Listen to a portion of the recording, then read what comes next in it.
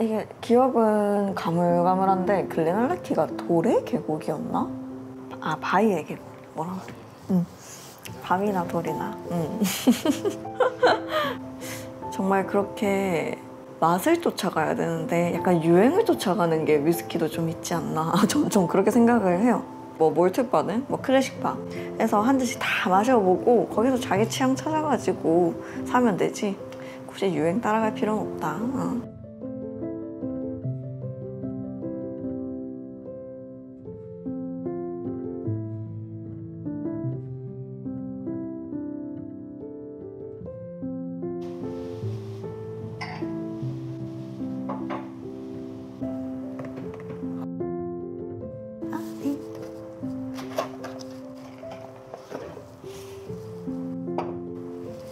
근데 글렌알라키 이거 bottle 패키지 같은 거 색깔 진짜 이쁘게 잘 뽑아내요. 뭐 보라 색깔도 그렇고 초록 색깔도 그렇고 빨간 색깔도 그렇고 여기 빌리 워커 사인까지 세련된 거죠. 그러니까. 근데 이제 글렌알라키가 워낙 이제 엔트리급보다는 워낙 CS들이 막 난리 나고 하니까 얘, 얘가 좀 특히 각광을 못 받았던 것 같은데 색깔 자체에서는 굉장히 좀 붉은빛 거의 뭐 자줏빛이 돌고 있어가지고 약간 좀 단맛 자체가 좀 날 것 같아요 일단은 한번 따라봐도 되나요? 네.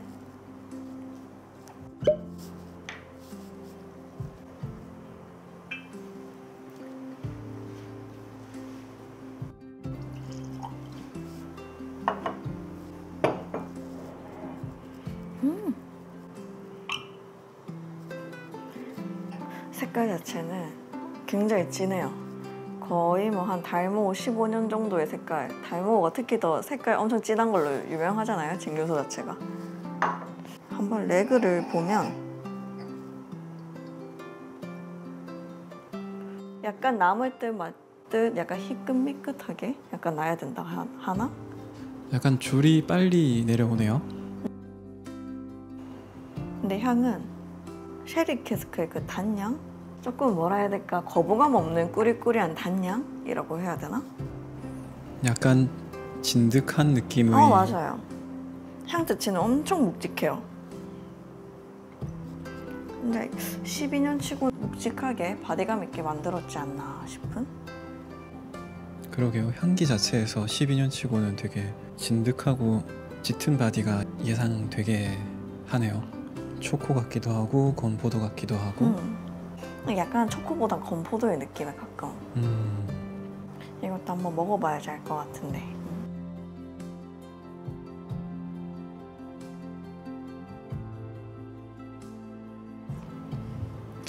맛은 오히려 향기에서 느꼈던 그런 무게감보다는 조금 가벼워요. 가벼운 것 같죠. 네. 약간 향과 보이는 것에 비해서는 조금 부드럽지 않나 가볍고 음.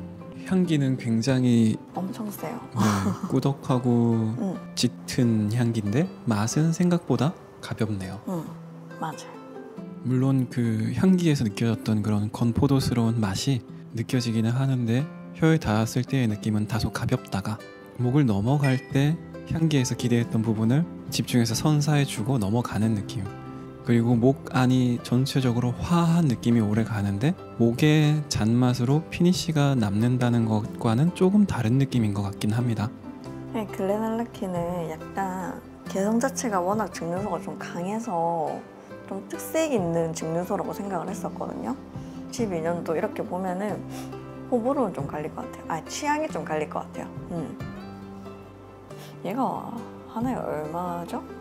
보통 12만 원 정도? 음, 12년도 지금 부산에서는 보기가 약간 어려워서 많이 어려워요. 음. 이번에 서울 갔다가 남대문 들러가지고 한번 사와봤어요. 음. 하, 그래 요새 진짜 위스키 구하는 게 너무 어려워가지고 이렇게 노력해야 돼요 진짜. 사모기님도 아시겠지만 부산에서는 위스키 한번 떴다 하면은 그날 당장 가지 않으면 없어요. 맞아요. 위스키 구하기가 어려워요. 그런데 서울 남대문 가니까 찾고 헤매던 위스키들이 거의 다 있더라고요. 그래서 어, 약간 현타가 왔습니다. 지역 차이가 좀 있어요. 이게 특히 좀 괜찮은 위스키들이 위쪽에 물량이 많이 풀린 게 많아요. 음. 아, 위세권으로 가야겠네. 음, 속이 상해가지고 한 잔 먹어야겠다.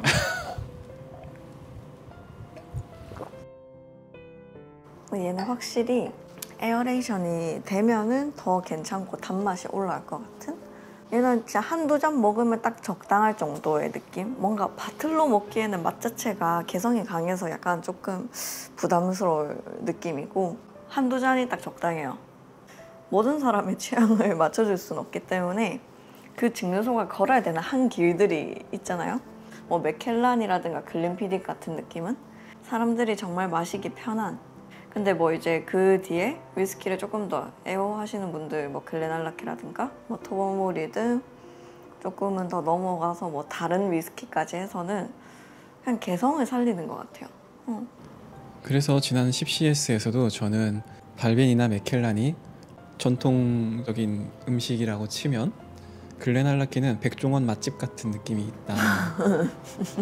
365일 못 먹지 않습니까? 약간 그런 느낌이 들었었는데 이건 주관적인 거라서 사실 맞다라고는 못하겠지만 말씀하신 것처럼 한두 잔 개성 있게 즐기기에 어울리는 것 같긴 합니다. 맞아요. 정말 클래식 바에 걸맞는 위스키가 아닌가 이게 한 잔씩 경험해보는 느낌. 아 그러면은 클래식 바나 몰트 바에 갔을 때 한 잔씩 주문해서 마시기에는 이런 특성 가진 친구들이 좋다는 말씀이시네요. 첫 번째 잔으로 먹기에는 맛이 좀 개성이 강하고 단맛이 강해서 한 세 번째 잔 음, 정도쯤 마시고 한 네다섯 번째 잔은 뭐 피트로 끝낼 때가 제일 좋을 것 같아요 얘는. 주인공이군요. 세 번째 잔에 등장해서 어 맞네요 딱 정중앙이네. 요즘 많이 주목받고 있는 위스키이기도 하고 그만큼 개성적인 맛이 있다는 것이기 때문에 저는 약간 사진을 찍는 사람 입장에서 볼- 봤을 때 이런 비유가 와닿을지는 모르겠는데 사진의 채도를 많이 높인 것 같은 느낌? 음 조금 더 자극적이고 선명하게 만드는 데 집중한 느낌이 저는 드네요. 안에는 자줏빛이고 겉에는 보라색 깔빛 해가지고 아 그래요. 외관도 그렇죠. 아, 외관도 그렇고 음, 맛 맛도 그렇고. 그렇고 좋은 위스키라는 건 사실이고요. 음. 음. 다만 한 가지를 이제 얘기를 하- 해보고 싶은 건 너무 목을 멜지는 말았으면 좋겠다라는 것. 정말 그렇게 그때 발베니 대란도 그렇고 맛을 쫓아가야 되는데 약간 유행을 쫓아가는 게 위스키도 좀 있지 않나. 전좀 그렇게 생각을 해요. 각자 사람마다의 취향이 있고 맛 자체가 느낀 것도 다른데 지금 완전 대란이래. 챙겨둬야 돼 하면서 막 챙겨두고 막 하는 굳이 그런 건 안 해도 될 것 같아요. 이게 맞는 사람도 있고 뭐, 뭐 스페이번이 맞는 사람도 있을 수도 있고 주라가 맞는 사람도 있을 수도 있고 하, 어, 정말 다양한 위스키가 자기 입맛에 맞을 수도 있고. 음. 그러니까 여러 개 이게 뭐 몰트바든 뭐 클래식바 음. 해서 한 잔씩 다 마셔보고 거기서 자기 취향 찾아가지고 사면 되지. 굳이 유행 따라갈 필요는 없다. 어. 맞아요. 몰트바에서 분위기 즐길 겸 한두 잔 마셔보고 또 이런 영상을 통해서 음. 조금 간접 경험도 해보고 맞아요. 그렇게 하면서 자기 취향을 찾아가는 과정이 있어서 위스키는 더 재미있는 것 같습니다. 음, 맞습니다. 딱 마지막 한 모금 남아 있는데 이것도 원샷을 해볼게요. 조금밖에 없어서 원샷 하는 거지. 뭐 위스키 막 45ml 따라져 있는데 원샷 하면 안 되는 거 아시죠?